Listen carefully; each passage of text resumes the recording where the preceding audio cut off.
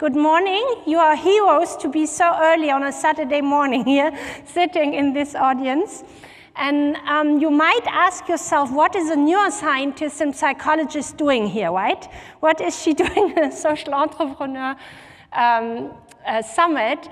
And I hope that I can show you that perhaps psychologists in neuroscience can give a little bit of insight to economy and to, and to social entrepreneurship in terms of our thinking. So what I want to do is to introduce you into what we have called a framework of caring economics. And then I want to make the bridge, because my specialty is inner work, is mental training, is how can you actually become a more caring, compassionate, and empathic person? Because it's not obvious that you are already born like that, right? I mean, you are, but you can also do something about it. So I will do this bridge from inner work to societal transformation, I will try, right? And so I will talk about what is empathy and perspective taking and compassion in the brain and in the human and how can you train that. And why does that actually increase social cohesion, cooperation, pro-social behaviors? So everything which economy is about, right? it's like about us cooperating in a global market. And then I conclude how that could uh, be relevant for you guys. So let me start with the caring economics framework. So how did that start? I moved um, as a neuroscientist and, and, psychologist working on empathy, compassion, and became an economy professor in Zurich. And that was a bit strange because we wanted, in a very interdisciplinary research program, we wanted to understand the, the foundations of cooperation. When does it break down? How, do, how can you foster it? So we were psychologists, anthropologists, economists, but I was professor in the economy department. So I had to learn economy, right? And I was totally stunned. I was like, uh, Ernst Fehr, he is a microeconomist, so behavioral economist, and then I worked many years with a macroeconomist, Professor Dennis Snower, and he explained macroeconomic model to me. So and what I was lacking is where is reality in that? where is what we know about psychology? Where is what we know about human motivation? So, what, what we tried in our cooperation over years is to bring psychology and neuroscience and behavioral economics together to form new models, right, which are informed by what we humans actually do. Um, so that is what I learned. I mean, it's a very for the economist, and you don't stone me, it's a very simplistic model of decision making, but it is actually what you can still read in textbooks, in economic textbooks. So you have this, what economists call preferences. They are like endogenously given, they are fixed, they are not sensitive from context, and they cannot really change. So it's what we psychologists call traits. It's like enduring characteristic. That doesn't really make sense at all because we are extremely plastic individuals, right? So, oh, and then you so you have choices, and then you have these funny beliefs. These are these abstract beliefs which you which you can only update if you see someone doing actions, right? For us social neuroscientists, this is totally surreal because we gain every millisecond information about the emotions and thinking of others all the time unconsciously. we don't have to see your behavior to know something about you, right? So, so I just give you some data. I hope to show that this is all very strange for us, right? So we, that's also a very simple model, but we have to start somewhere, right?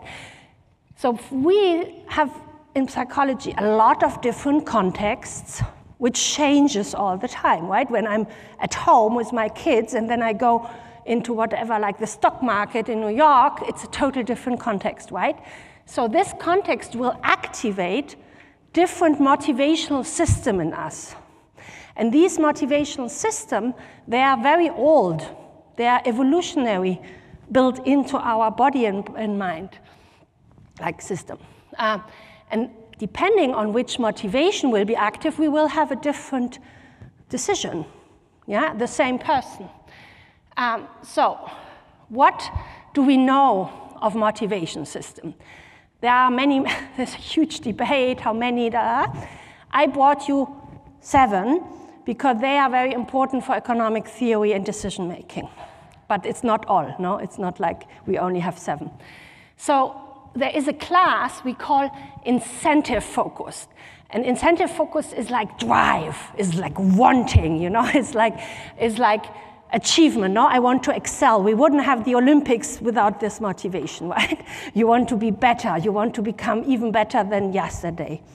We wouldn't have culture, we wouldn't have haute cuisine and all that stuff without achievement motivation. So no motivation is bad in itself. It has a function in a niche.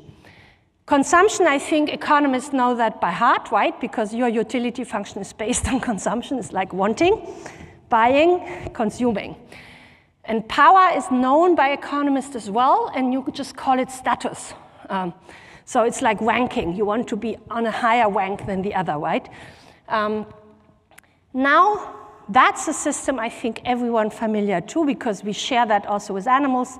When we are under threat, no, it's flight, fight, or freeze. We, we, and so in, let's say, human emotion, we call it anger because it's like approaching threat by being angry, or fear, which is avoiding threat by fleeing, right? And when you freeze, this is a human reaction which you call trauma. so in trauma, we have frozen. And it's a whole other lecture. now, these motives, the socially motive, they are as old, as important, and we share them as much with our animals, right? They are not something like only women and only fluffy fluffy, no? They are like core motivation of our human race and animals.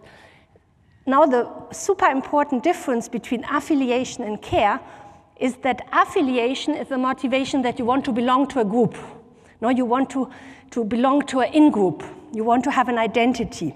And I think economists have started uh, to talk about identity theory, right? Psychologists know about identity theory since many, many, many, many decades because we cannot just say we are individual being. We, we are extremely prone to affiliate.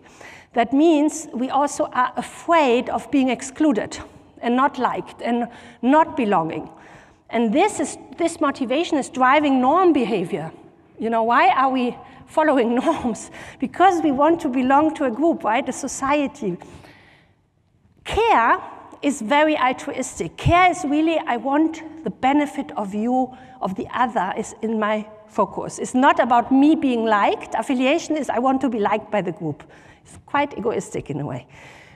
Care is all about the other. It's really about, I want your welfare. It's coming out of the of the system of, of you know, mother-child or father-child bonding, of course, but it's, of course, much broader. And usually this motivation needs to be in balance to be in a healthy body, in a healthy system. So what happens if you are constantly in incentive-focused motivation? And that's what's happening in our new modern systems we have built, right? Science is based on achievement only, education more or less. uh, economy is built on consumption, a lot on power too. Um, even our healthcare system is not built on care. It's built on the left side, on the incentive, even though there is the word care in the system, healthcare. So we, have a, we are out of balance in the individual and as a macroscopic uh, society, right? We are all about incentive focused motivation. So, what happens is that even though these motivations are good when they are not chronically activated, they have their, their reason to be there. Um, when you chronically activate them, you get into addiction. And, and you know, addiction cell phone addiction, internet addiction, food addiction, obesity. So we have huge amount of stress-related diseases and other diseases ramping because of addiction problem in our modern society. And that's because we are too much in this system of incentive focus. Then the threat system is like a twin to this hyperactive incentive system because Imagine if you always want to be the best and always win, and when you have accumulated status, you don't want to lose it anymore. The ego, the, your, yourself, is constantly under threat to lose, not to be the best, not to keep the money they have gone. So the threat system is constantly activated because you could, you know, you could, you know, lose what you just got. So they are like speaking a lot, and this is why we have an increase in social stress, not just already in very young populations. We have a huge amount of depression in young people at the moment. Um, so, what about these other systems? uh, biologically speaking, these systems they are soothing, it's um, trusting, they connect you, they calm you down. They are biologically uh, balancing. You know, the one is sympathetic and the other is parasympathetic. So, biologically speaking, these socially and caring system come with opiates, with oxytocin. So these are hormones which will allow your system to calm down or to trust or uh, not, so when the threat system you all know no, is hyperactivated, you have constant cortisol flooding your body and your system. And then at, at some point, you are burned out, right? you are depressed, burned out, and unhealthy. And the good thing is when you activate care, you have a direct inhibition of threat. We call that, you know, oxytocin is anxiolytic. It, and uh, opiates, you know, opiate epidemics also in America at the moment. Why do you give opiates? Because it's killing your pain and your suffering. So these care system, they endogenously activate opiate system and reduce your fear and let you feel better. So of course, we cannot build an economy on some drugs which activate oxytocin so. That's not what I'm meaning. So what we said is, look, we have to rewrite the economic models, first also mathematically, by, you know, instead of just having this one, uh, I think it works like that, no? You see this utility function is the one you see in your textbooks in the neoclassicistic decision-making textbooks model. And, and, but when you take a more complex view, you have all these other utility function which needs to be imputed. So if you are in care, you will have prosocial behavior, not egoistic behavior coming out. If you are in affiliation, you will probably more like conform and be normative. Uh, if you are in power, you will probably compete so you have these different types of decisions um, which will come out depending on what is active and in which context you are. And so we have to rewrite our mathematical economic model, but that's complex because every context shifts all the time, right? So it's a dynamic system, and I don't think mathematicians are up to that yet. So it will be difficult to put math on that, right? But what I want to say is if you are in a caring institution with an institutional design which allows to prime this care system, you will see prosocial behavior. And if you're in a system which is all about competition, you will see punishment behavior or competitive behavior. And we actually proved that in the lab. No? We took the economic games, game theory paradigm, which you use, no? like the whole uh, micro uh, behavioral economics tool set. But what we did is we used a little trick in psychology which is called priming. So we, one group was primed to activate the care system, but they didn't know that. And you do that by showing movies of little you know, doggy puppets and so big little animals with big, big eyes and so on. And, and you have a cover story. So the people don't know that what is happening is that the care system gets activated. And then the other group gets power motivation activated through priming. And then you put them into these uh, economic decision making task, and you can measure how much cooperation and how much competition comes out. And what you can prove is that indeed, when you prime care, same people, you have much more cooperative behavior, much more trusting, much more donations than if you prime power. If you prime power, you see a lot of these altruistic punishment and conflicting behavior in these games. And you see that this conflicting behavior is even inhibited when you prime care, by, also according to comparison to baseline. So just sharing how wrong these classic model are who say we have preferences and they cannot shift. They can shift unconsciously in millisecond in the same individual. Um, so now we want to really have something sustainable. Now We know that through massage you can activate oxytocin and care and soothing. No? And if you see them, you're like, ah, just so good. No? But we cannot build an economy on massage. So our question was, can we actually educate people uh, to become more caring and more sustainable on the long term, more conscious about their intentions and what really matters in life. And so that is, of course, my passion as psychologist and neuroscientist. It's really where I'm coming from, right? I'm not coming from, uh, from economy, surely.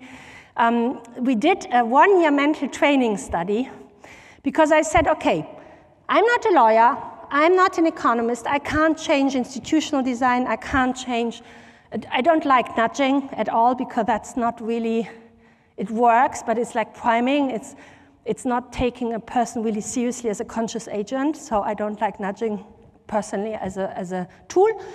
Um, so I said, why can we not change with inner change? Because inner change you can start every minute, and you don't have to wait for politician or institution to change, right? You can do it in yourself. It's your responsibility. And can we address global problems, right? Because if we have climate change, I mean, you know, my colleagues who are climate researchers, they know since decades that we are running in problems, right? But nobody doing anything, nobody changing. Why? Because you have to change your habits.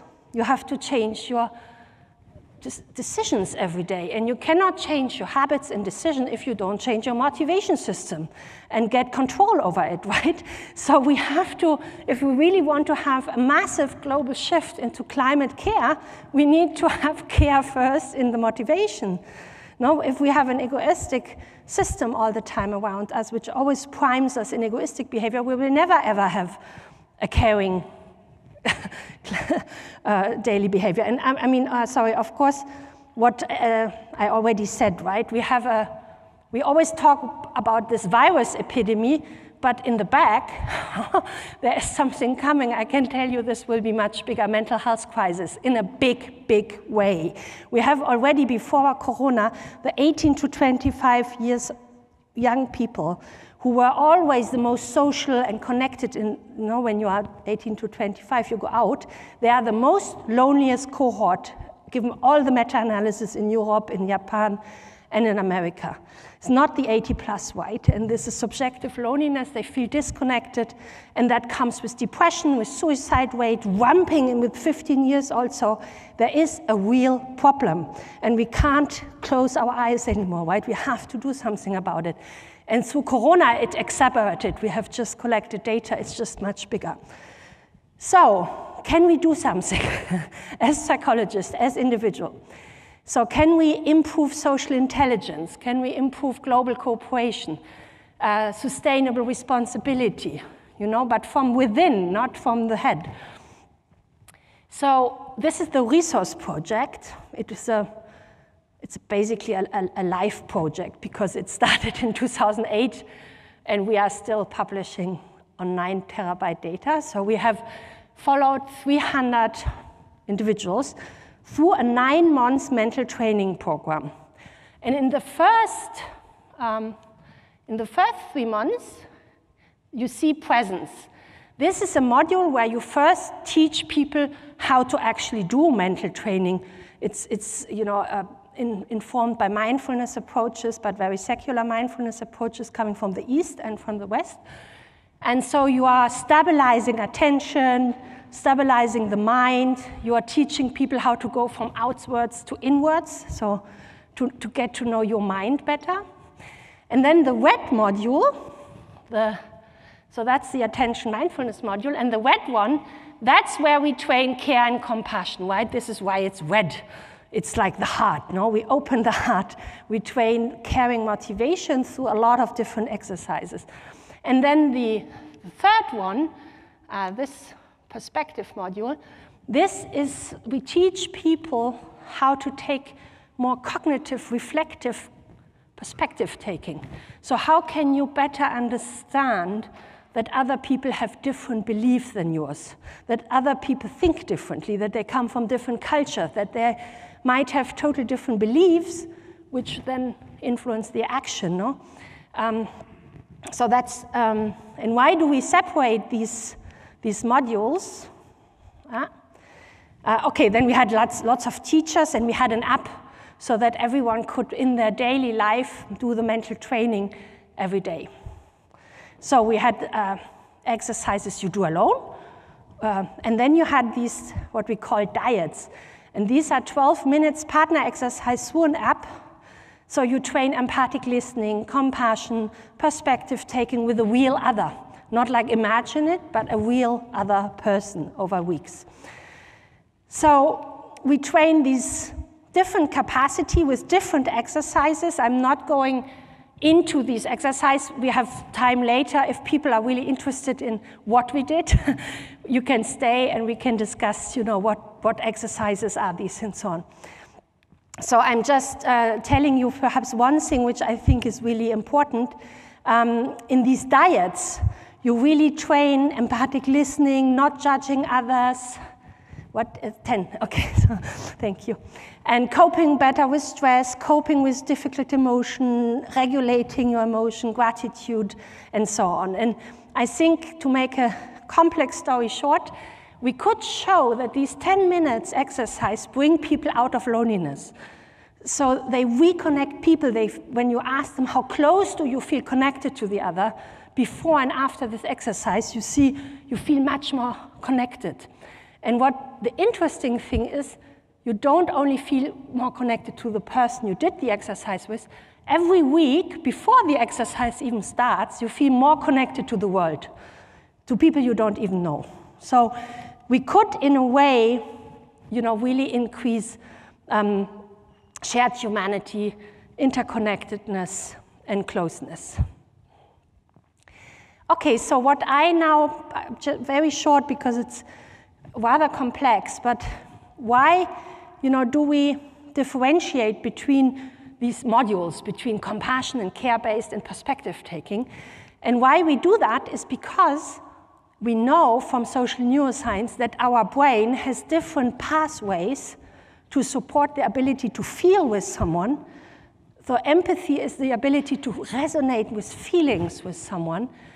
And compassion is also a feeling, is like a concern, love for the other. Um, and theory of mind is cognitive, is, is a rational abstraction we can do about, oh, the other has other, different beliefs, right? Religious beliefs and, and so on. So, um, why do we need both? Empathy and compassion motivates us to help, right? This is the motivational aspect, this is the heart. And then we want to help because we care, we feel the pain of the other. But this is not enough to move into global compassion and care because empathy and compassion can be fragile in the moment you're dealing with outgroup members. In the moment where you're dealing with people you dislike, they have hurt you, they're other religion, other belief system. And to basically include people from other identities, outgroup people, you need this cognitive perspective taking, this wisdom. You need to be able to creep into the mind of another who thinks and feels totally different, has been raised differently, different ages. Um, and we can scan, we can make brain scans, and what you see is that indeed, you see these networks in green. Obviously, now the networks in the brain are not green. Uh, I just colored them here for the purpose of the talk so that you can understand that these networks in the brain, large scale networks, which underlie our ability to, you know, to, to mind read, to take this cognitive perspective, are totally different networks than the networks in the brain which are supporting empathy and compassion, social, emotional motivation. And because they are different, we can train them differently, right? You know, I think um, everyone understands why, you know, like if, if journalists came and said, Tania, what is, the, what is the effect of mental training? I said, it's almost like you asking a sports specialist, what is the effect of sports? I mean, you will ask now, is it riding? Is it tennis playing? You know, when I'm in a fitness center and I'm, I'm taking, you know, a, a machine to increase my muscles here, I'm not expecting that my leg muscles get stronger, right? And the same thing is for the mind. So if you do exercises to open care, empathy, compassion, loving kindness, you will find different results than if you do attention mental training and so on. And this is what we find. So here are the results. Uh, the brain of these people training get thicker, really like hardware get thicker, after three months of attention mindfulness-based training, and attention increases. But you see here, after three months of compassion-based training, you don't see any attention, but you see compassion increasing, but not the other things, right? It's very special. And then after three months yeah, of this perspective-taking training, you see these gray matter increases here in the brain in green here, which are the networks supporting this ability. And that's all in the same brain, right? So you can imagine it's really like fitness, but it's gray matter thickness in your brain, getting thicker. And that was quite revolutionary because I was told with 25, your brain gets thinner and you just get Alzheimer at some point and you just have atrophy, right? And these are like 43 on average people, it's not very young. And they can increase gray matter through a mini training, not a lot at a day, right? This is a real yes, you can thing. Okay, then for the time being short, we could reduce social stress um, to 51%. So if we measure cortisol in our blood as a response to a social stressor, we can reduce, you see that here, with these dyads. So only in the social modules, so only in the modules where you train social skills with another person every day, you can reduce the social stress to 51%. And this is because, we, because they learn first not to judge others all the time, not to judge themselves all the time, and just start loving themselves, right? And then you don't have this social stress anymore. Uh, for you guys, mostly probably interesting, um, we have used this game theoretical paradigm. No, I have learned in an economic faculty. So we have used 14 different of these game theoretical paradigm where you really play for real money and guess which module was the most efficient? According to economic theory, it should be the perspective taking, the rational one, the one where you, where you train rational thinking and perspective taking. It did not do a thing. The only module which was really efficient in driving donation, trust, altruism was the care based module, the emotional one. And economists don't like to hear that because Emotions are rather thought of something hindering a rational decision and not giving something good, right? But no, the care system is not just a fleeting emotion which is in the way, it's a survival motivation, right? It's important for evolution as much as all the other system. And that's the one which drives altruism and cooperation most. Um, so I think, I hope that I could tell you that we can actually do something to become another being. so the preference model, which is fixed, is totally wrong. We can show that we can turn so-called egoists in 30, I mean, days, through exercising 10 minutes a day or 20 into altruist, right? With the same game, the very same game the economists used to prove their models. And so I guess this needs to be taken seriously because it just means these models are wrong. Um, this is why we do empirical research. And I hope that I could show you, depending on how, what we do with our mind every day, we will train different aspects of our mind, of the heart and the body, right? We, but we can teach it, and it changes even the structure of our brain. So we have brain plasticity, and we can decrease stress increase a lot of other things like body awareness.